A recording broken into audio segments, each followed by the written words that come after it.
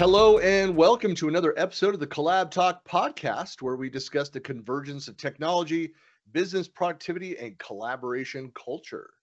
And my guest today is Norm Young. Welcome back, Norm. It's been a while since we did one. I feel like it's been months since I've talked It- to you last. It has been, uh, well, a little while. Uh, it- Norm is, of course, a Microsoft MVP and a senior strategic consultant at AvePoint. So welcome. Thank you. And uh, yeah, I'm thinking, where did we see each other? Was it the last time? Well, we saw each other at the M365 Community Conference. That's right. That does seem like a very long time ago, but It um, does. When was was that? April? Was that May? June? I, mm, I don't know. long enough that I've forgotten. But what I will tell you is, I had never been to that event before, uh, No. and for me, it was a uh, uh, a culmination of a lot of years of being a uh, Microsoft MVP, being in the community, being uh, someone who was keen to learn more from other like-minded individuals and M365 was, you know, on my bucket list to go to, and I was lucky enough to go. Uh, it was great seeing you and some other community friends. Uh, had the opportunity to give a talk about Microsoft List and Power Automate, two of my favorite subjects, and uh, that was all done in what Orlando, beautiful, beautiful Orlando, and the weather was quite nice that time of year. And uh, It wasn't too hot. It was all right. I did complain. I made the mistake on the last day before leaving, like, and I was walking around outside of wearing the black T-shirt. That was Yeah. a mistake. It was the warmest on that last day, but it wasn't one of those overpowering humidity things. As a Western U.S. guy, like I, I don't like the humidity thing. How Yeah. do people live in that? I, I, yeah, I don't know. I don't know. Dry heat, people. Dry heat, exactly. Yeah. And you know, I I didn't have Copilot or AI fatigue at the, at the end of that event. Like It was a good balance. It was a Yeah. good balance. I, I- of course, I was in the expo hall the entire time and doing community stuff. Uh, so I, I, I wasn't in the sessions, uh, but I, I, I got that sense from people that it was a good balance and that they, the other thing that they did, and it was an intentional move, and other conferences should pay attention to this, is they didn't front load all of the advanced topics on new stuff on the first day. Mm, and instead they spread the things out and allowed people to go to the the the, the more fundamental courses of the the Yeah. other the sessions and other things and kind of more plot out their their schedule to learn about something and go to advanced topics. So i yeah anyway that again that was an intentional move that i wish more events did yeah, indeed. It was uh yeah, it was a privilege to be a part of that conference. It was great to see everyone. Uh, it was nice to come out of it being a little more motivated to to learn more about some of the new technologies or some of the more cornerstone ones like SharePoint and, and Teams and of course those those everyday tools that we use may build our our, our solutions on whether they're collaborative or or or uh, even uh, you know more power platform based where these types of things tend to touch everything. So it was nice to to get that motivation coming out of it and not being just overwhelmed with the the marketing and the the hype that goes along with all of these new announcements. So yeah, it was good. it's a like that's another thing where it's a skill that you have to develop like a muscle you have to build a muscle which is to uh hear the marketing content the announcements the things that are out there and be able to d- discern from those what's actually real and available today on my tenant Yeah, what exactly. could I actually what could I actually use? What can I leverage? And I do appreciate too from community speakers, not as much from Microsoft speakers, but from community speakers who are sensitive to that and talk about differences between versions. And this, of course, was especially true when there was still a lot of on-prem. There's still a lot of on-prem uh, solutions is. around. Um, but you know, they go in and talk about, well, this capability, these features are only available in these versions, and this is what you need to have. That that's a, a a- it's a must-have in any presentation to talk about what licenses you need, who this is relevant for. Um, otherwise, you get people. And this is a problem with uh, with Viva marketing was that a lot of people like got excited, and then it was very complex of what licenses you need for the features, the things that you saw. Right.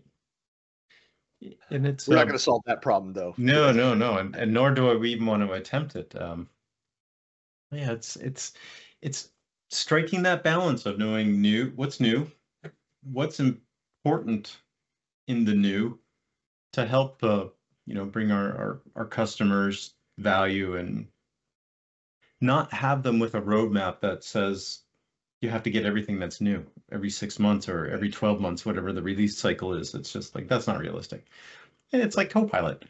Uh, Copilot has been uh, a, a nonstop uh, wave uh, of information coming out, and you know whether it's preparing for Copilot or licensing for Copilot or the top 20 things you must use Copilot for. It's it's one of those things where I still find myself uh, finding sifting through all this information news to find out where the the right placement of the value of the value of of the promise of copilot excuse me will be in my my day-to-day working life and then extrapolating that out for the the teams i'm on uh, extrapolating that out even further to the organization i'm in and then of course you transpose those lessons learned to the customers that you might have and you're trying to give them the uh, the digestible uh, view of how to place and position Copilot, measure adoption, all those types of things. Yeah. And so, Yeah, yeah.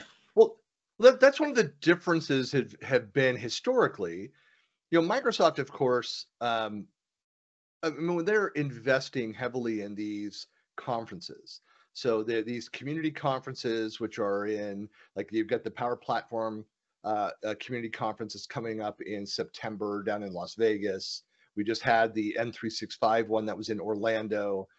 Um, they also have the uh, Fabric conference, which they launched in the first one. I mean, for the first time conference, they had 4,500 attendees. and It was a great first Wow. conference for that. So that's only going to grow.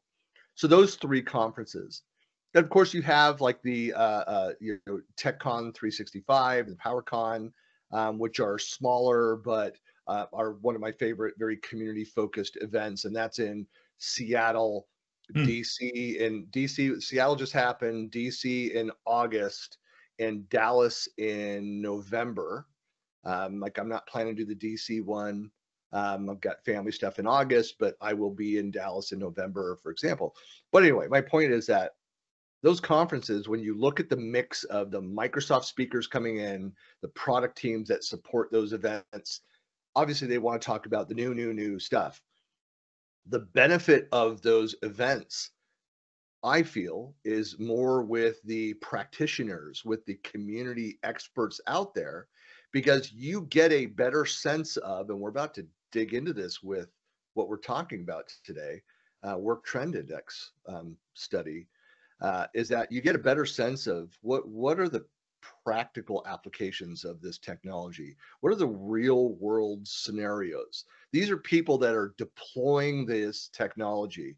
Large customers small customers uh, what are they actually seeing? How are people actually leveraging and using copilot and power platform in the real world and how are they handling my, my topic of governance how are they managing all of those things making sure that they remain secure and compliant and well governed and operational um, like all of those things you get a better sense of that from the community content than you do from microsoft content Right.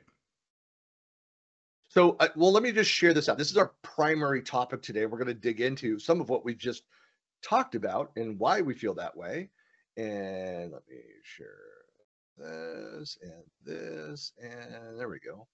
So if you are uh, have not yet seen this of course it was a blog post out may 8th by jared spataro jared is an awesome human being cvp of ai at work um, if, if anybody's had a chance like jared is fantastic presenter he had uh, got to know him personally um, when he for a year year and a half two years two years i think ran the sharepoint organization um, ran the, like the, the the product team, and I think that was when Jeff Teeper stepped away and went over to the um, went over to M12 to the VC side of the business for Microsoft, but then came back, uh, took it back over.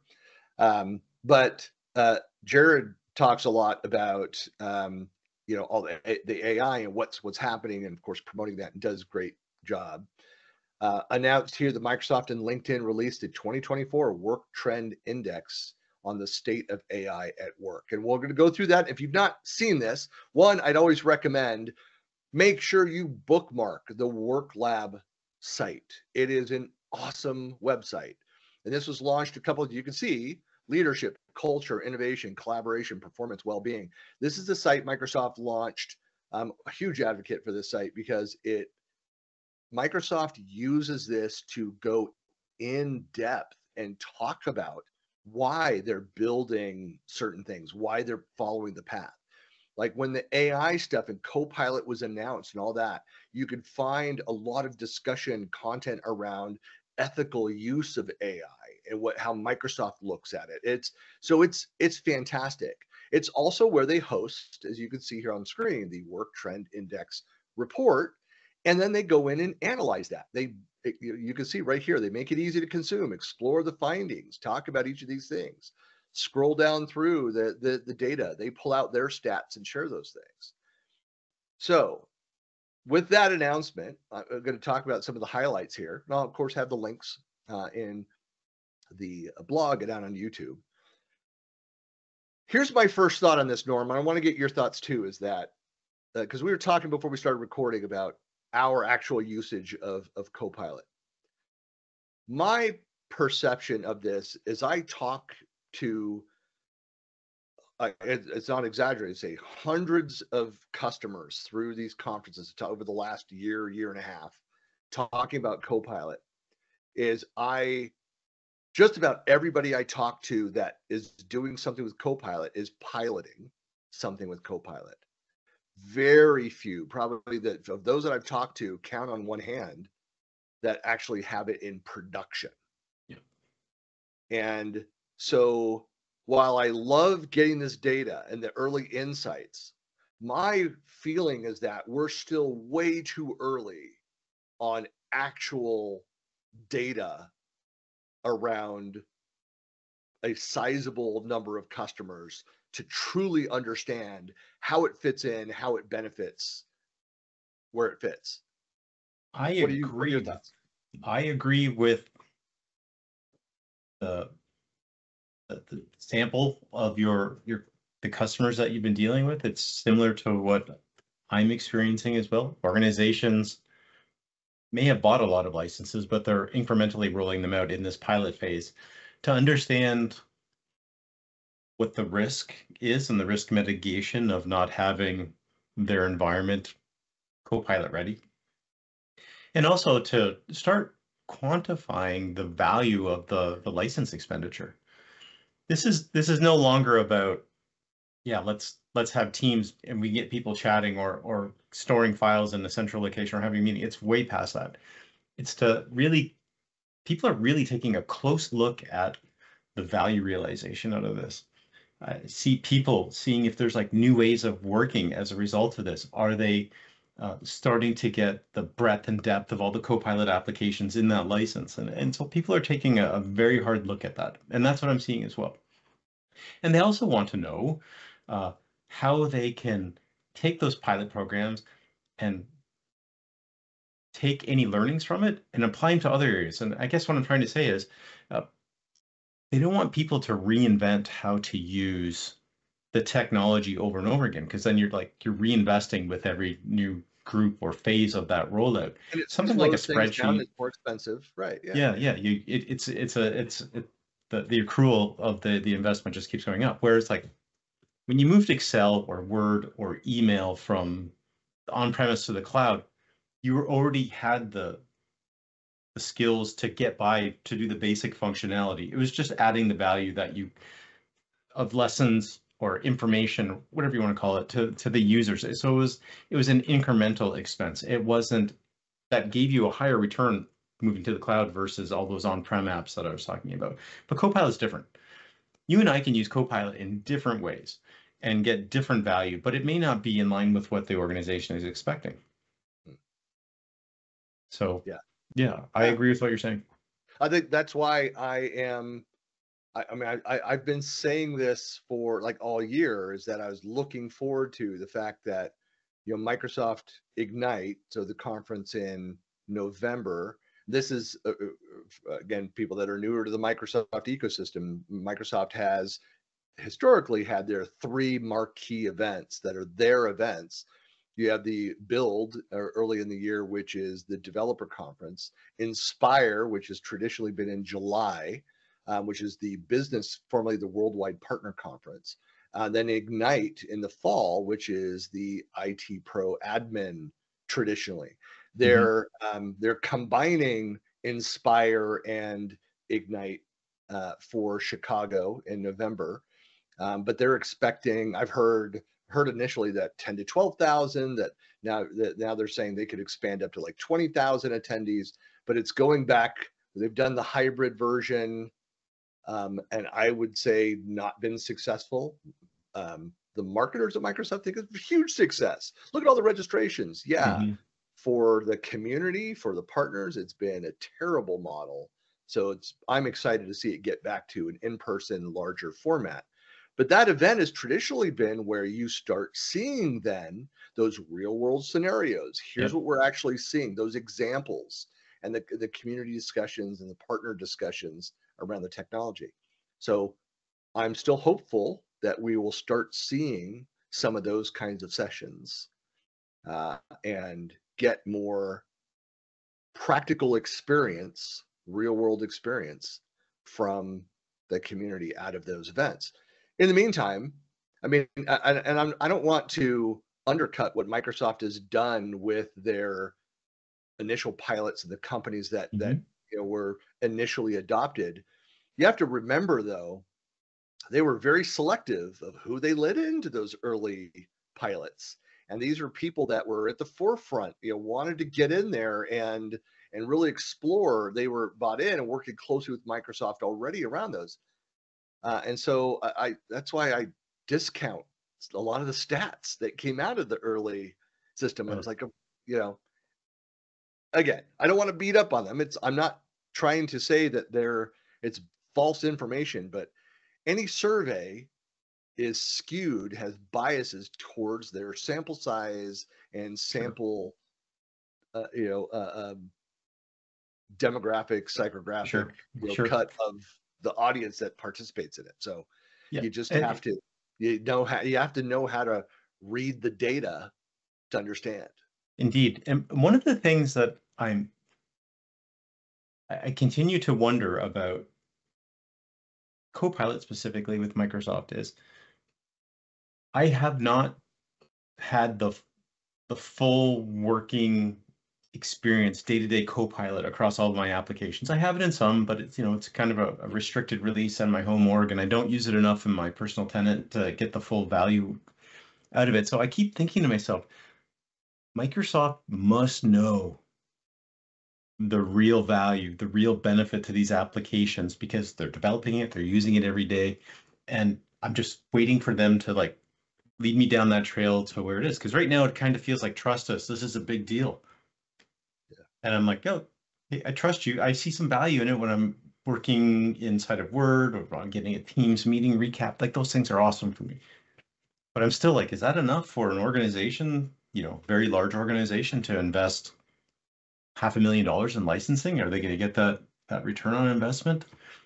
Uh, and so, I also the other the other thing that comes to mind whenever I think about this is, you know, one of the first things that started bubbling up uh, inside of like GitHub, where all of the and from Microsoft, they're developing all of these uh, prompt libraries.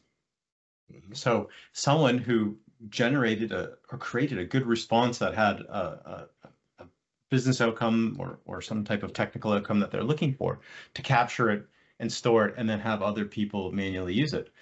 And I was I was like, okay, I guess that's good, but like really? Do we we have to have like a a high-tech post-it note to get the value out of this and scale it across an organization? kind of defeats the purpose of what they're the way that they're selling it if you're having to go and i mean it's like it, it it's like people that are powershell and you know scripting Yes. experts that are out there it's fantastic incredibly powerful but it quickly becomes so complex to get that thing well it's like well that kind of defeats the purpose of Mhm. for in the copilot world you know uh, of i want something that i can use natural language and go and be able to dig into my data Yeah.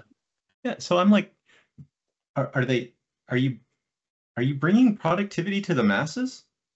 Or are you just bringing another productivity tool to the masses? And, and I'm not trying to, you know, uh, throw shade at Microsoft, but until organizations and, and the, the tool reach a level of maturity to find the right way of leveraging it, I just, I see myself having to reinvent a wheel that the person beside me probably has already invented. And so I don't like that. I, I don't like that you have to, uh, you can't repurpose as much of those prompts and some of those those learnings in the current state. Yeah. And Well, nothing is stopping. No one is going to slow it down either. No, and, and in fact, uh, and I think uh, the last tab here, when we get over to, uh, you know, the the how it's being extended and, and other things that are coming out, uh, I think it it goes into the argument of more specific. Uh, it makes it, I think, a lot more focused um, for the business scenarios that you have. Mhm. We'll, we'll come to that. So here's some of the data points that they pulled out. So this is again from Jared's uh, blog post you know employees want ai at work and they won't wait for companies to catch up. So that is true. And this is actually and uh, like when you brought up the cost like i agree. I mean for the things that i'm using so i have copilot. I went out and paid for it. As soon as microsoft re, uh, you know removed the threshold for for smbs you know you it, initially when they launched it copilot you had to have 300 minimum seats at Yep. 30 bucks a month a user for a year and they removed that threshold. So me with my one user, me, I went and paid, you know, basically 400 bucks after tax, whatever it was, uh, and bought it. And then, of course, a month later, they gave it to all the MVPs, gave us a free license. So I have two licenses now. Yep. Um, but went and deployed it. Here's where I use it daily. I use it in Teams. I use it to summarize in uh, in Exchange. What do I use it in Teams? It's to summarize conversation, to find and track tasks that may have been assigned, to ask questions around the data, for it to go look through, you know, the the the meetings, the recordings, all those kinds of things. Ex- uh, on the Exchange side, an email to be able to go in and uh, and and pull in insights from them. What do I actually need to go and do? What's urgent, truly Right. urgent around them, and what are those things? What did I forget in the last week that I need to go follow up on? Um, I I use it in PowerPoint because I hate PowerPoint, and so to have better um, designer capabilities is fantastic. And then I use it. I probably use it the most uh, is in the browser, Edge browser, um, because it has the latest Chat GPT version and, and it's able to look at my data as well as my profile, as well as out on the web, that version of it. So for me, and this is, uh, we talk about the cost of that. For me, I believe there's enough value that I get out of that price point that I will continue using it and paying for it as a as a single user on my own tenant. But I'm also paying for other premium AI tools and services. Yeah. I am a Chat GPT premium user as well. Uh, and we get it. That's a different discussion of why Copilot or Edge, you know, the, with the Mhm. relationship with Microsoft versus Chat GPT.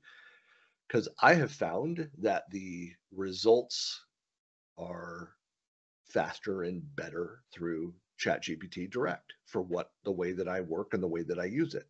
Yeah. So again, that that's a conversation for another day. But sure. employees, of course, are not waiting around for this. No. Um, You know, we- we're seeing, you know, the how it's starting to impact the job market. I think, uh, you know, this is like when there was the discussion, but this is on steroids, is even more serious about moving to the cloud. People were concerned about what is going to happen with their jobs, and it is starting to evolve a number of roles.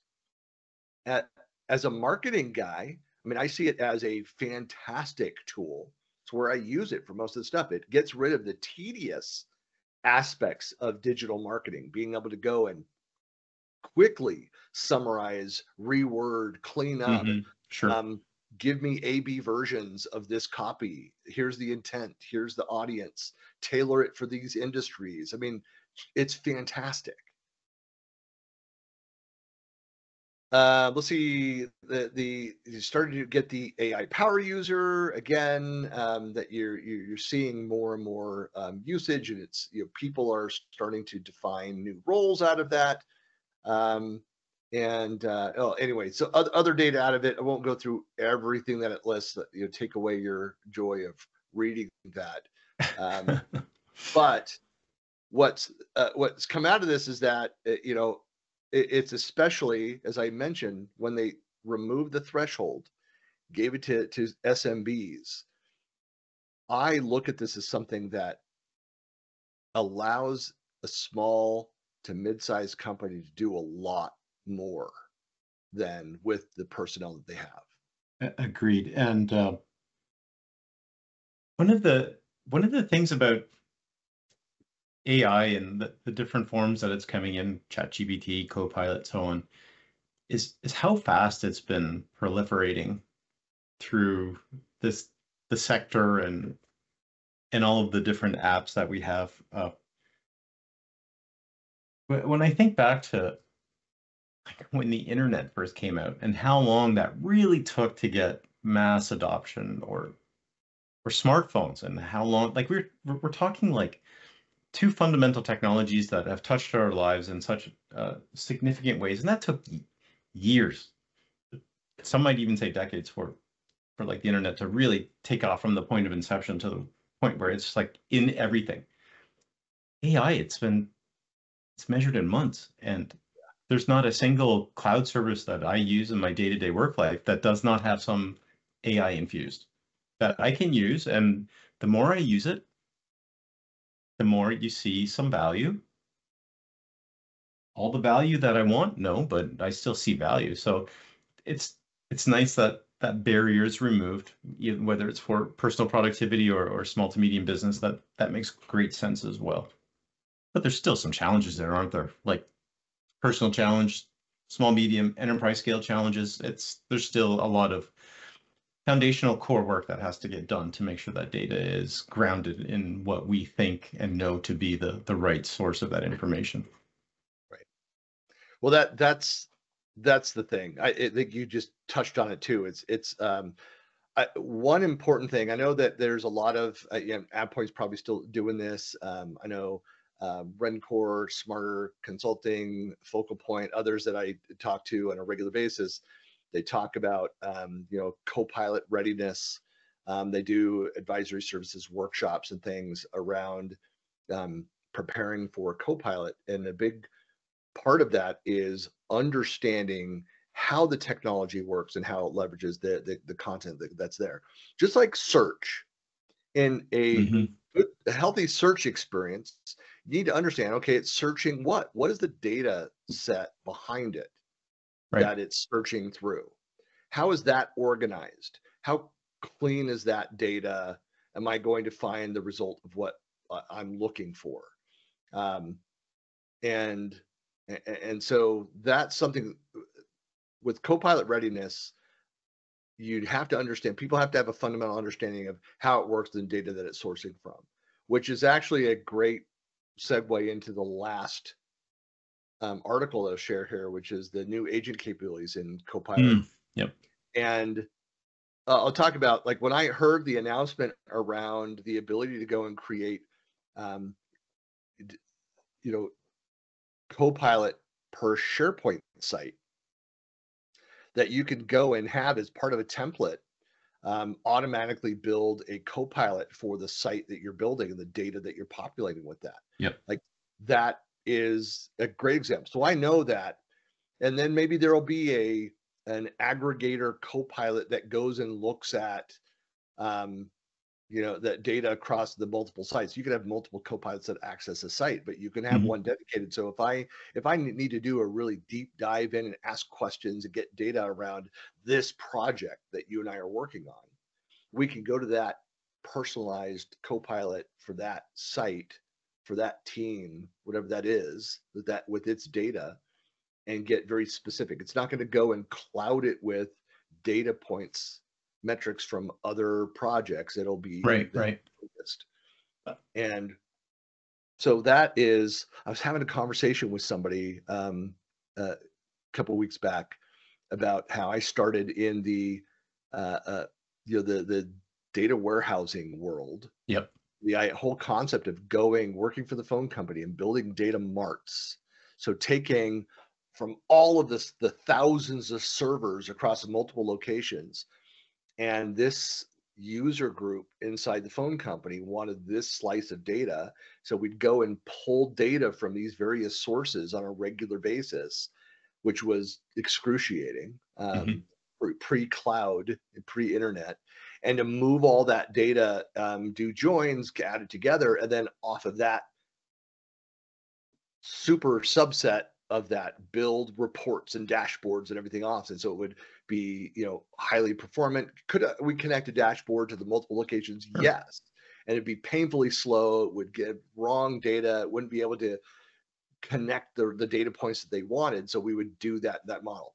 That's essentially what we've we're working our way back towards yep. all in the cloud and built in seconds yes it's it's great that copilot can extend its tentacles out into all those different areas. But there's something to be said for a more bespoke or curtailed experience where if if a business user maybe they're doing procurement or project work like you mentioned in your example and you go to that procurement or project site and you put a copilot on across all of their different document libraries and it can interrogate the results and it is a trustworthy site. It is in a user experience that is not overwhelming the user and now you've just added incremental value but you're still tapping into uh, all of that investment that you're making and i like that that sounds like a really good step forward without having to go necessarily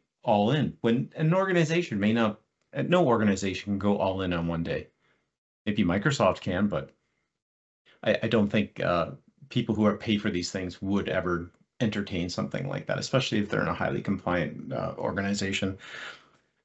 And so there's a way where you can uh, meter out or, or measure out where the, the copilot goes. So agent focus, framework delivered out, small scale, large scale, it doesn't really matter, but your your tailored experiences for the pilots and the ones that real information workers that can get the the full benefit out of the the M365 Copilot license, well then sure, put them in that that right grouping. So that that that's a very sound approach for organizations to have a you know AI first type of or a cloud and a cloud first type of approach to this rollout. Not all or nothing, but the the right AI tool and form factor for the right users and the right business need. I think the next step beyond, and, and I've got on screen here the team Copilot and talking about you know oh, its capabilities basically can go and facilitate meetings and follow be your project manager following up on tasks and has awareness of all those different pieces it, it actually just makes me think following on what you just said is that I, I, I agree uh, because everything is named co-pilot now everything has a co-pilot like all these different yeah. things and you think well what a hot mess of different things. I'm already people are still struggling with how many teams and channels that they have access to yeah. um, you know all of the workspaces and the groups and the sites and all of that. Uh, but if you, if, so the first step is to enable the capability within the individual nodes, if you will.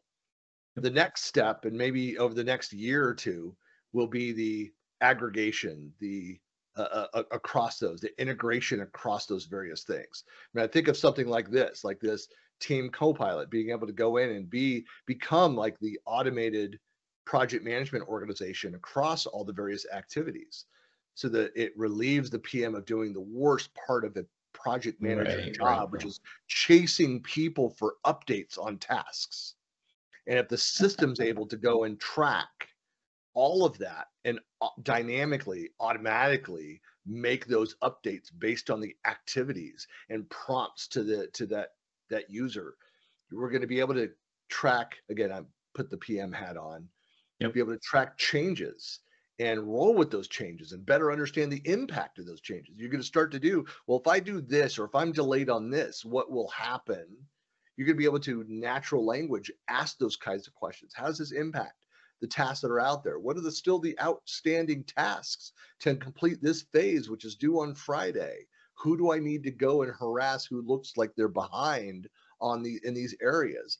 Much more interactive, and that's just one area, but it benefits from one having a co-pilot, having that the the Mhm. bot, the agent, whatever, in each of those locations, and then aggregating the data uh, and taking action around those things. But it's interesting in that example that you you you provide. Uh, it's it, it reminds me of uh, some of the fears that people expressed when Copilot came out, saying like, "Oh, people are going to lose their jobs." No, it's like people are not going to lose their jobs. Um, someone is still going to have to figure out a, a mechanism to implement all of these complex business rules. Uh, Copilot's going to be smart, but it's not going to be that smart to to figure out all those those ins and outs. So someone like ourselves, who you know Yeah. maybe we consult or help develop solutions for or applications and solutions for these types of things,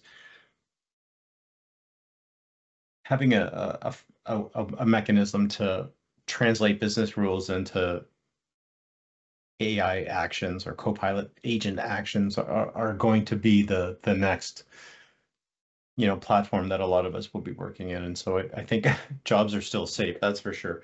Um it's but it, I, I suppose in some ways this is you know the similar similar to the the, the promises made with the power platform when uh, you know there's this massive developer shortage and we're trying to get the tools in the hands of business uh, users to become business technologists and they can go create their own applications and solutions well, th- this could be a, another extension to that that type of thinking for those cases, and it's uh, adding uh, value and not necessarily replacing people, so they can work on you know higher value work. You know, and I- see it. And I agree with you, Norm. Uh, it, it it just it makes me think, and I'll, I'll close down this as too, as we uh, wrap things up here. But I, I mean, I've said for years, I said this with the move, the shift towards the cloud. I, you know, I, it's very much true with Power Platform and Mhm. certainly from the governance standpoint, but it, it's true with Copilot is that I think an undervalued role out in the world um, right now is around that the BA, the business analyst. Yep. And as I find myself, I mean, like yourself, getting more back into the services side, the delivery side, um, doing advisory services and and you know consulting, um, partnering and consulting, and we're being you're starting to work on more and more projects with end user customers. Um, it's I'm it takes me back to my roots where I started my tech career as a business analyst. Um, going in and being the person who understands the business side, the business uh, uh, the business rules, the requirements, the you know the desired outcomes for the business, but then also on the technology side understands that and then translating between the two. And there is a you know, a huge demand for people that have that skill today. yes, yes, indeed, Uh, agreed. So yeah, I I, I think that's there's going to be a lot of opportunity going forward for people with this skill. Yeah. So, well, it, it's been uh, uh, always an interesting conversation. We always have great discussions, and and and if folks are wondering, whenever um, Norm and I meet up at a conference or something, we're like, do we talk like getting these conversations? Like, yeah, every single time. We feel it. we go in depth on something. Like, what did you see? What did you hear? So, Yes. Yeah. Norm is one of my go-to people, especially around insights automation stuff. So, am I going to see you at the Power Platform Conference in September? Are you going? I I I will be I will be attending in some form or fashion. Uh, I Yeah. am sad to say I did not get selected to speak, but uh, these things happen in life, and uh, I will be there. It's uh, I will be there as well. events. So we'll we'll do some photos. So folks, if you're uh, if you happen to be there in in September and come find Norm and I and tell us how much how great of a service that we have provided with these we don't want negative uh, uh, information. We all we want is praise and adulation. Yes, looking forward to it, my friend. Well, it's great talking to you. Likewise.